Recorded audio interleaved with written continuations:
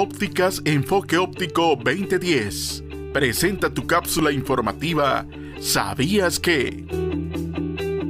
¿Sabías que mínimo cada año debes hacerte tu examen de la vista?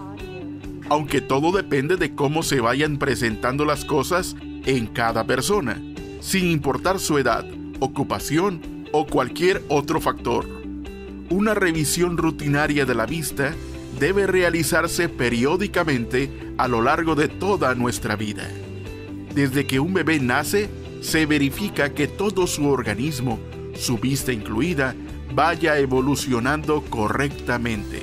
Al principio, hay chequeos mensuales efectuados por el pediatra, quien de encontrar alguna irregularidad orientará a los padres para que acudan al especialista indicado. Posteriormente, lo ideal es una revisión anual al menos hasta los 14 años, debido a los cambios que se operan en el cuerpo a lo largo de las diferentes etapas de crecimiento. Más adelante puede ser por lo menos cada dos años, especialmente cuando no se ha presentado ningún problema.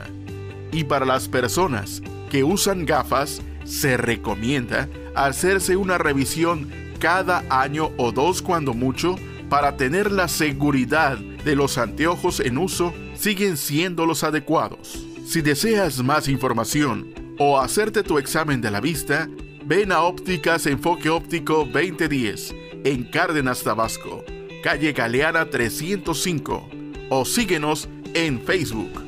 Hasta una próxima cápsula de ¿Sabías que? presentada por Ópticas Enfoque Óptico 2010.